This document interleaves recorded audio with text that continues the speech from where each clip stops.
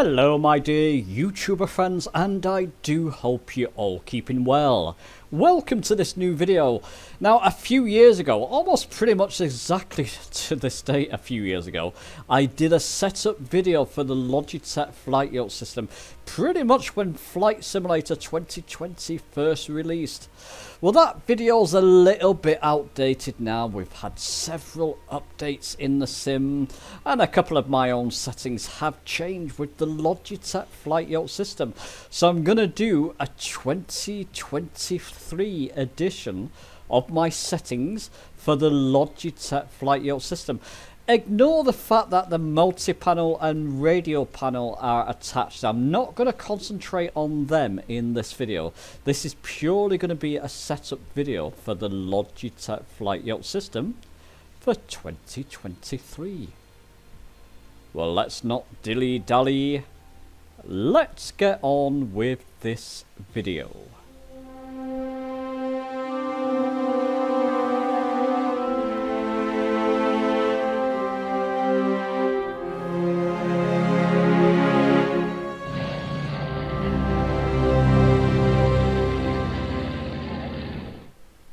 Okay, so let's first start with the primary flight control surfaces, the elevator. Push and pull your yoke backwards and forwards, and your ailerons, your banking axis, move your, your yoke left and right. These should be set up by default, so there's nothing different here. You can see I've got a profile name 2023 profile. Ensure, of course, that your flight yoke system is highlighted up here. So if your mouse is highlighted, ensure that your velocity, uh, that, sorry, that your Logitech Flight Yoke system is highlighted. All these controls, if you if you buy the Logitech uh, Flight Yoke system, you'll get the yoke and throttle quadrant included. So it all comes under the one profile because you've got the throttle quadrant connected to your yoke. If you're doing it this way, it will all come under this one profile. I'll show you that in a moment. But elevator ailerons, they should be set by default. If not, take a look at that. You can see for it to work properly you need to have the reverse axis ticked on both of them. And if you ever need to find that, go search by name, by the way. I'll show you a quick tip. Any of the settings I'm going to show you, if you need to find any of them, if I start typing in elevator axis, there you go. I just typed in elevator A and it brought up the elevator axis. So we can get rid of that and hopefully it will take us back. Now it's going to uh, show us all the different flight controls. So let's put this back to assigned. Flight control surfaces. And primary flight control surfaces. Not sure if this is just me. Maybe somebody can confirm. Sometimes when I open these menu, you get writing on top of writing. You probably see a lot of that in this video kind of happened since with my Logitech Flight Yoke system. Not quite sure what's going on there, but we can we can solve that another day. The thing I've changed here is the sensitivities. Now you can see the banking axis. So basically the aileron axis, left and right, you can see it's axis X there.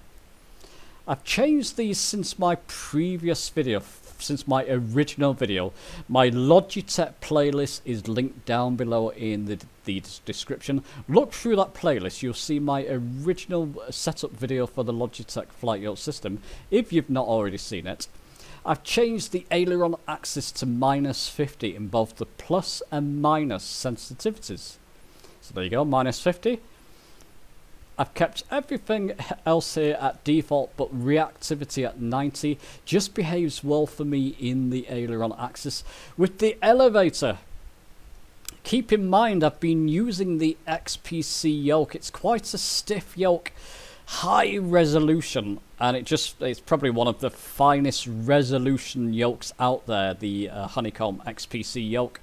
But coming back to the Logitech, this was too light for me, so I've had to tone these down. I've got minus 70% sensitivities in both the plus and minus sensitivities here, as you can see. Dead zone, believe it or not, I put a dead zone on the Logitech elevator axis of 2% and reactivity at 90%. Let me just demonstrate this in the sim. I've got a flight in progress there. I've got it on autopilot, so let me take it off autopilot. I'll push down. I've got to push a little bit further before the aircraft reacts. Previously, with my other settings, it would just go up and down too quickly by pushing my yoke forward to descend and pulling it back towards me to climb. It would just be too loose to for my liking. Um, banking left or right with the settings I've got set in it just feels more realistic. Doesn't feel sluggish. It just doesn't feel too overreactive. It doesn't feel too loose. In fact, you could turn in this a lot quicker than you could in something like the XPC yoke. I'm not sure how realistic that is, but it feels great in the sim. So when I'm flying GA aircraft, and this setup is going to be mainly for GA aircraft. I've got the 182 here, but the 172 should be very similar. Just feels nice. So when I'm coming into land, say that's the runway ahead of me, I can flare nice and easy. As you can see, I can get some fantastic landings with these settings. So there you go. So let's just go back to control options. Logitech flight yoke selected flight control surfaces. So those are my primary flight control surfaces. The other thing I want to show you is power management. Again, these should be set up by default. If not, I'm going to open the throttle, mixture and propeller. Basically, by default, your lever with the black topper should be your throttle. And that should be there by default. If not, this is the way I've got it set up. Reverse axis ticked. Mixture is your red. So I, I put a picture for you onto the right of the screen there.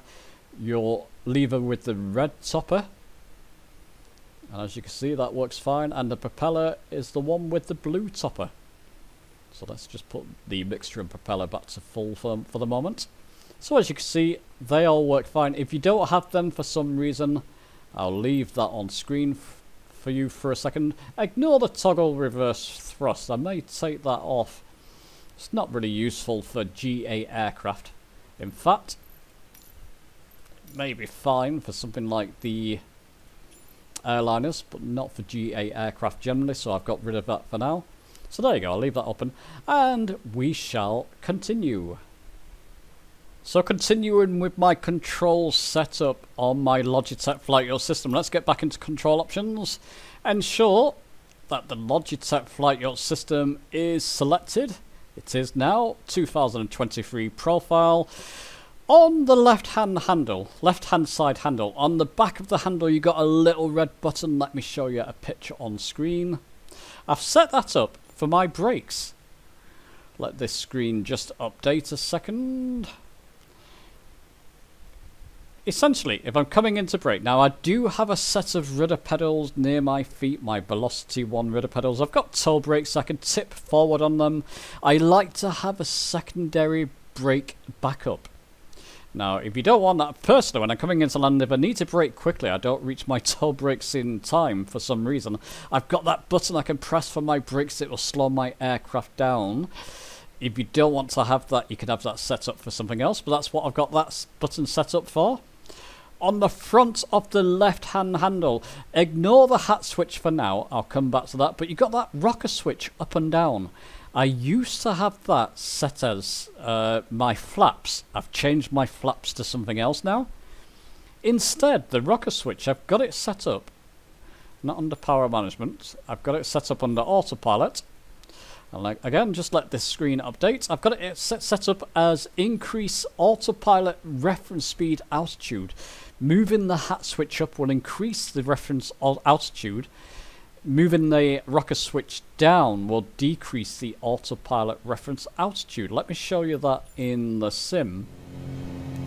So there you go, that's my Cessna 182RG. That's my assigned autopilot altitude. If I wanted to increase that on the left-hand handle, like I just showed you, I'll move the rocker switch up and I can increase that autopilot assigned altitude. I can use a bit of vertical speed, vertical speed nose up, and it will increase to that 1500 assigned altitude I've just set. If I want to lower that, move the rocker switch down, it goes up and down in increments of 100. So 1300 back to 1500. that's what it does. Let's get back to control options. So that's on the left handle. Let's move to the right hand side handle. You've got a rocker switch moving up and down. I've kept that the way it was in my original settings video as control trimming surfaces. This writing on writing is distracting. I'll get to the bottom of it. But elevator trim nose up. Essentially, I move that rocker switch. I'm showing you a picture to the right there. I move that rocker switch down to trim nose up. And I move the rocker switch up to trim nose down. So don't be confused about that. So I'm moving the rocker switch down to trim nose up. I'm moving the rocker switch up to trim nose down. If you need to find these, like I showed you before, just go by search by name. Just start typing in elevator trim. Elevator trim. There you go. Oh, Get out of it. Go, go back. I didn't want that. And it'll bring up the elevator trim nose up and down in this little box here so you can find it easier by going search by name, essentially. So that's self-explanatory. I don't need to explain trim to you, but it works brilliantly on the Logitech Flight Yoke system. Using buttons for trim I'm not a fan of, but on the Logitech it works absolutely fantastic. Sticking to the right hand handle, you've got a rocker switch moving left and right. This is now my, I've changed this to, let me just think, it's autopilot increase heading bug basically. So under instruments and systems, I've got it as increase heading bug and decrease heading bug. So moving that hat switch to the right will increase the heading bug, moving it to the left will decrease it. Self-explanatory, but let me just show you in the sim. That's my heading bug, that triangle on the 182. I'll move, the, I'm in heading mode, so I'll move the rocker switch to the left. It will follow it, the autopilot to the left, move it to the right. It will follow the autopilot heading bug to the right. So once again, quite self-explanatory. So that's under instruments and settings, but like I said, go by search by name flight instruments, if you're having trouble finding this, let the screen update. So just start typing in increase heading bug, or yeah, increase heading bug, and then set your rocker switch to the right to that on the right handle, and type in decrease heading bug in search by name, and you can find it that way. The only other thing I want to show you here is that big button on the right handle. Show you a picture on screen. People have that as push to talk. I've got mine set up. Let me just think. Oh yeah, it's under camera. Had to think for a moment there. Oh, come on, screen, do update. It's under camera and camera mode switches, if I can get to it. I'm just going to let this writing update. It, it's a bit of a pain, but it does update. There we go, camera mode switches. It's basic, basically cockpit, exter cockpit slash external view mode and it does what it says on a tin there? It will toggle between your cockpit and external mode. When you press that big red button that's what I've got it set for. So in the sim press the button go into external mode press it again get back into cockpit. It's handy to have a handy button a close by button for toggling external and cockpit. The only thing, other thing I want to show you on the yoke for the moment Let's get back to control options.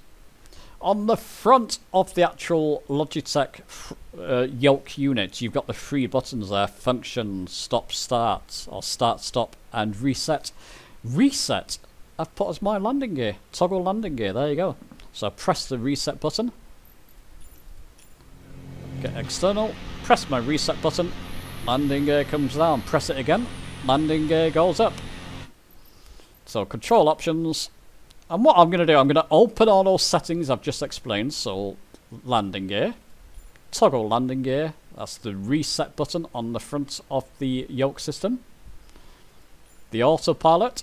For now, these are what I got set up. I'm going to set some up with you in a moment. Increase autopilot reference altitude. So on your left hand side handle, that rocker switch, increase and decrease basically your autopilot assigned altitude. Instruments and settings, flight instruments, increase, decrease heading bug. That's your left and right. Just show you quickly on screen again. Your left and right rocker switch on the right hand side handle.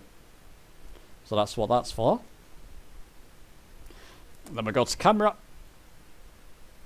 Camera mode switches the big red button to toggle between my external and internal view. And I'm missing, well yeah, just flight control surfaces. That'll be a trim, wouldn't it? Control trimming surfaces. So elevator nose up, elevator nose down. As was set in my original video, that rocker switch on the right handle to control your elevator trim nose up and down. So there you go. Those are the ones I've just showed you. So if you need to find them, go search by name and you can input them yourselves. Let's move on with more settings. So let's talk about views, everybody's favourite subject, eh? Under the Velocity 1 Flight Yoke System 2023 profile, it's pretty similar to what I had before. In cockpit camera, I've got previous pilot position. I push my hat switch down on my left handle. Next pilot position, push it up. I'll show you this in the sim. I think this is all set by default anyway. Quick view right and quick view left. That's the way I prefer it with the Logitech Flight Yoke system. I can show you a video down below in the description where you can use your hat switch to smoothly lock around. But this is the way I prefer it in the Logitech Flight Yoke system. When I'm down, I push my hat switch down and I get, so previous pilot position, and push my hat switch down, get to my instrument views, I go left and right on my hat switch to cycle between the instrument views. If you need to find these, you're struggling to find these, you want to set these up, just type in here, for example, like I showed you before, but I'm going to show you again, search by name, previous instrument, there you go, just start start typing it and it will come up previous instrument. If you want to go to the next instrument, just type in next instrument view and then you can type you can set your hat switch up to go left and right between your instruments.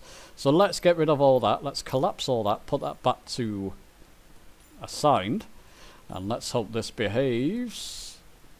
Oh, there you go. Well, it's open everything, which I didn't really want it to do, but it saves me opening the menus again. So the cockpit camera.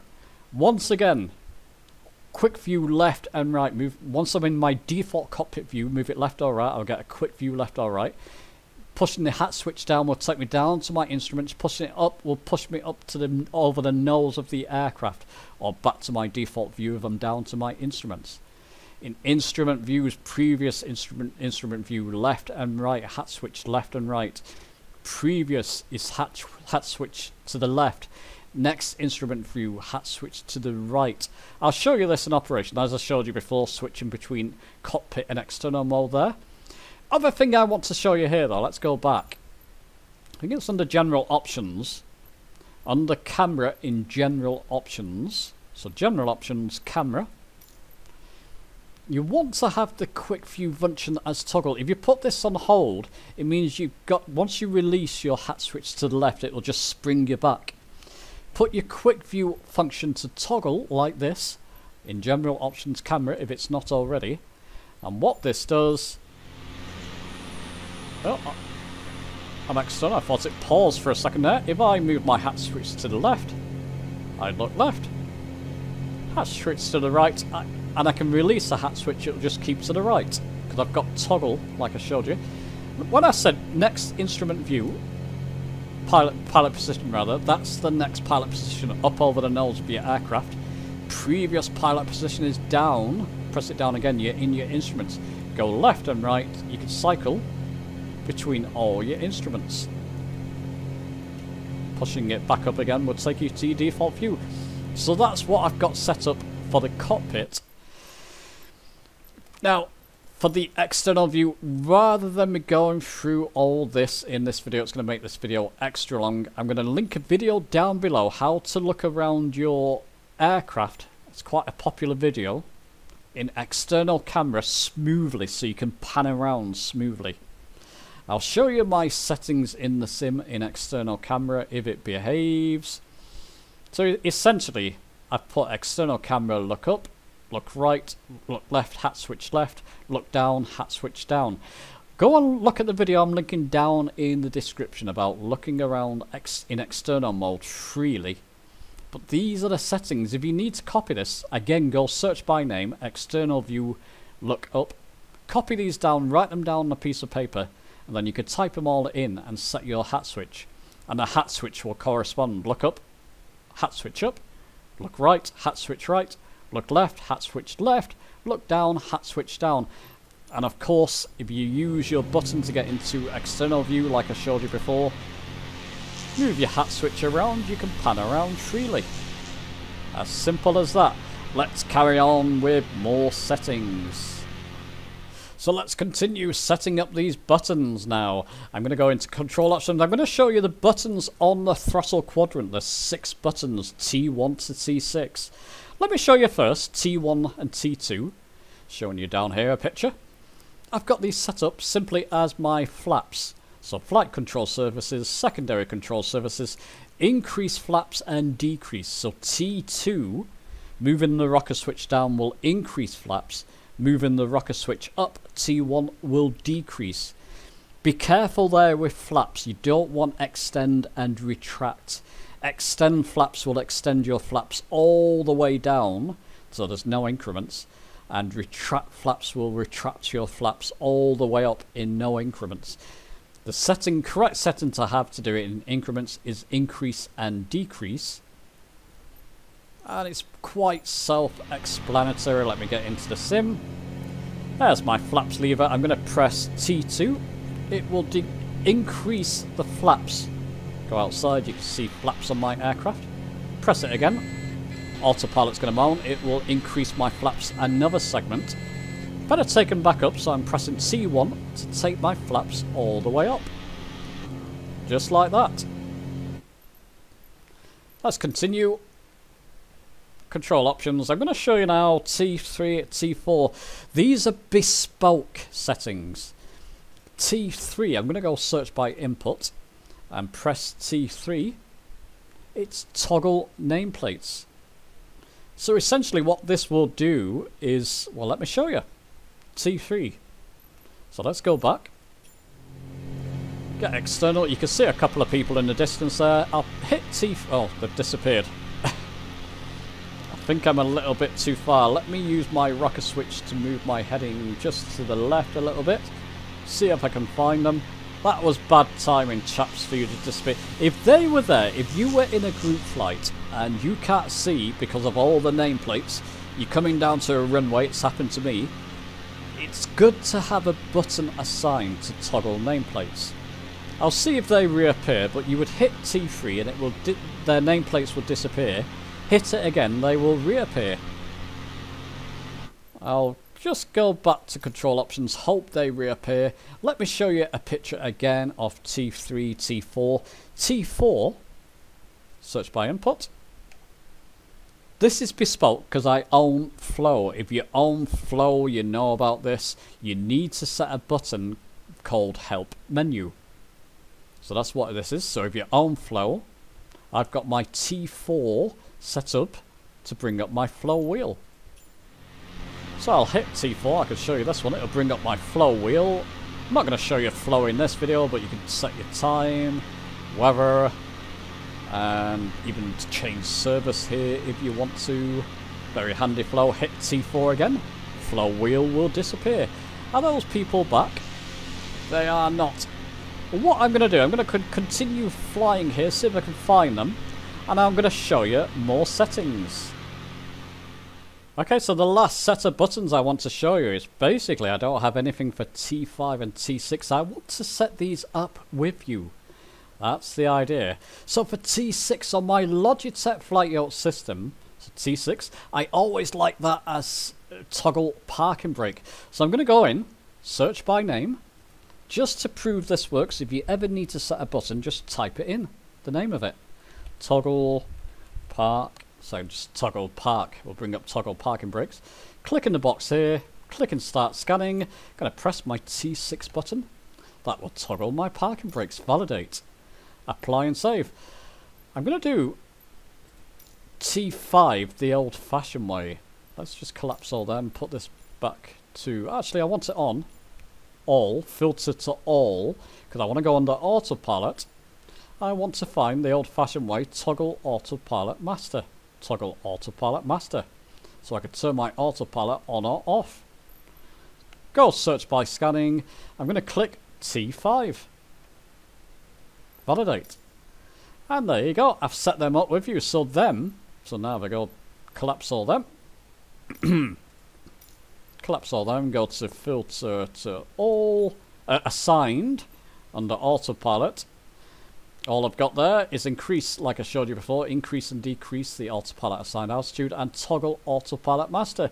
If you don't have flow, like I showed you before, you don't want to toggle nameplates, uh, T3 and T4 you can set as nav mode and heading mode if you want to. I just prefer it this way. I do have the multi-panel, keep that in mind. There's one last button I want to set up. See if I can search by this. I want to reset my cockpit view. Reset cockpit reset cockpit view. The button I'm going to use for this is on the front of my yoke system again and that's the start stop button. Pressing that button, if I press that button now, doesn't do anything to the yoke. The clock stays the same. Unless you click function, it won't do anything. Function will bring up the stopwatch and then you can press up stop start. And goodness knows what. But pressing start or reset by themselves when you're on the sort of main screen on the front of the alt. they don't do anything unless you assign them to something. So I'm going to press that stop start to reset my cockpit view. Click in that box, click in start scanning, press that button stop start. Validate.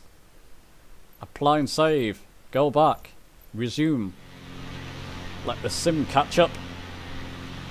Oh, there's nameplates. I'm going to click now. The nameplates appeared. I'm going to click show you before. Toggle nameplates. Click my T3. There you go.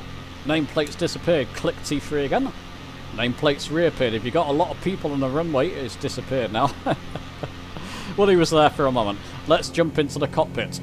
I've got autopilot on at the moment. So if I click my T5 button, move the mouse, you can see the autopilot's turned off. Reset my cockpit view, start, stop. There you go, I'm into my default view. I can use the controls I set up before to fly around. These feel lovely. Trim a little bit. Elevator, ailerons moving around. Oh, lovely. I'm going to turn my autopilot back on. It's back on, I believe. And heading mode. Oh, I'm just going to use my multi-panel for this. It doesn't matter. But set up a switch for that if you want to. Well, listen, chaps, there's my updated settings for the Logitech Flight Yoke system for 2023. I do hope this video has been helpful to you. Give the video a like if you've enjoyed it. Subscribe for more as always. Many more of these types of videos on their way. And I'll see you soon.